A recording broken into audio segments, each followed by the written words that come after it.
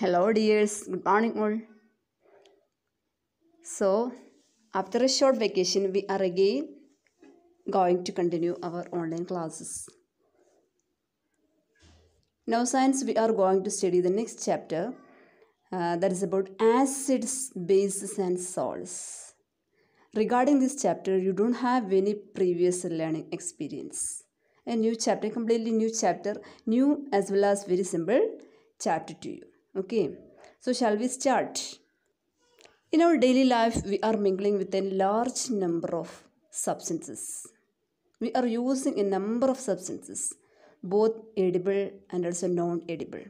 Some of the edible substances, such as lemon, tamarind, common sugar, salt, vinegar, orange, apple, tomato, etc. All these are the edible substances that we are commonly using.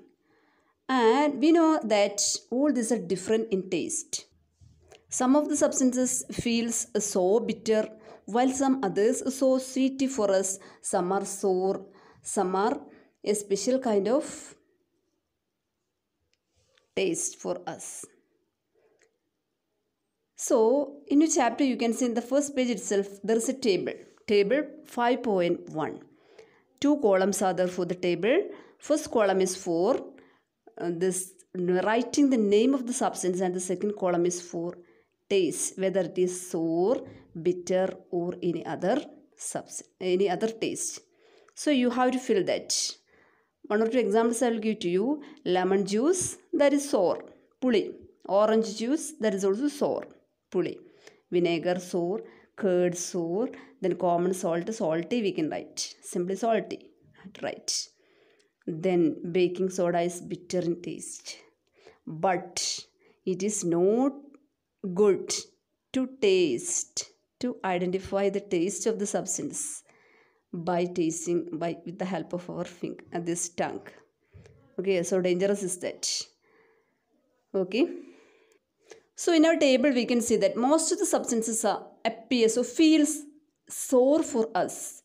These substances contain something these contents present in these substances are acids all these substances with a sour taste they contain uh, any one at least any one acid in them the chemical nature of such substances is acidic. What we can say? Acidic, we can say. The word acid comes from a Latin word, acere, which means a sour.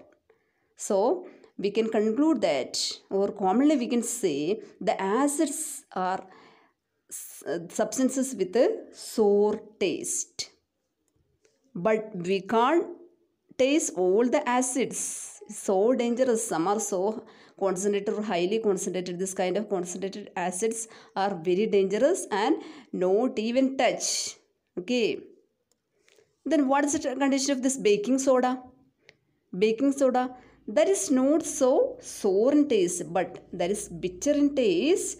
And also it feels something when we are this uh, rubbing this baking soda by using our fingers we can see we, we can feel a special kind of soapy feeling.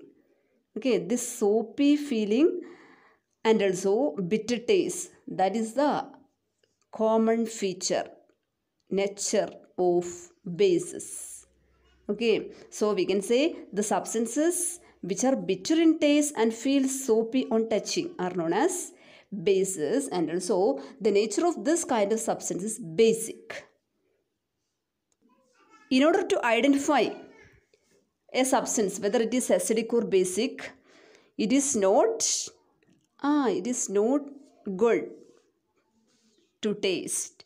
But we can use some special kind of substances called indicators. Indicators.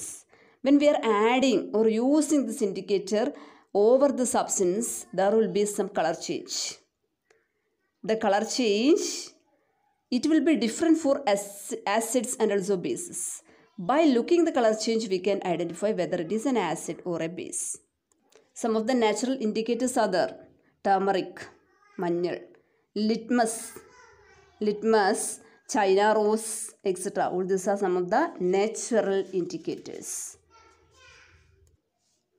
so you can see in the um, next page another table is there A blue color table is there in your textbook showing the name of the acid and uh, the name of acid and found in which kind of food item. That is given the name of the base and also found in which kind of items. That is also given there. We have to study that table too. That is some of the common or edible food items that we are using in our house. So these are the details regarding the introduction of this chapter. The remaining part we will discuss in next class. Thank you.